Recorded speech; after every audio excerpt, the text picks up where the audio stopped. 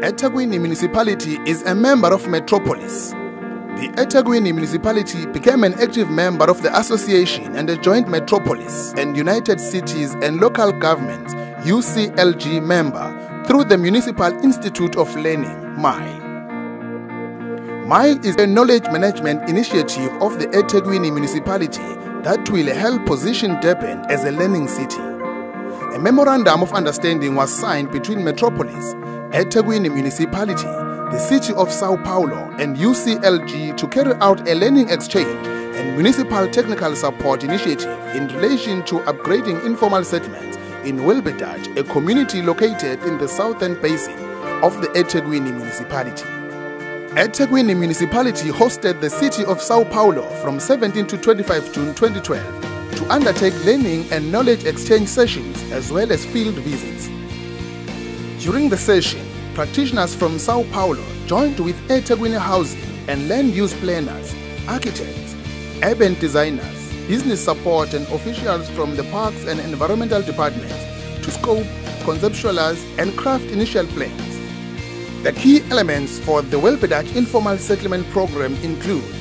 a focus is on building a community, going beyond upgrading to construct a new urban space, creating a viable and valued human settlement that has the full range of municipal services, including a sustainable local economy, accessing and encouraging full participation from the residents of Welbedacht to inform development of the area densifying housing development in the design and by the adoption of new housing typologies within what is permitted by national legislation and is acceptable to the community. Articulating old, new, and integrated technology.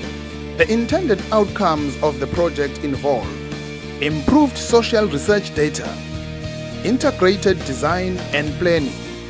well positioned housing units for urbanity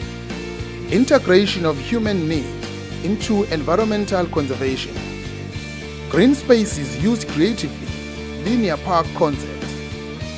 links to the greater Welbedacht area going beyond roads also be via the use of communal community facilities. It is hoped that through this innovative partnership between Durban and Sao Paulo, the quality of lives of the people will be improved and the project will offer useful lessons to other cities internationally that may be interested in replication.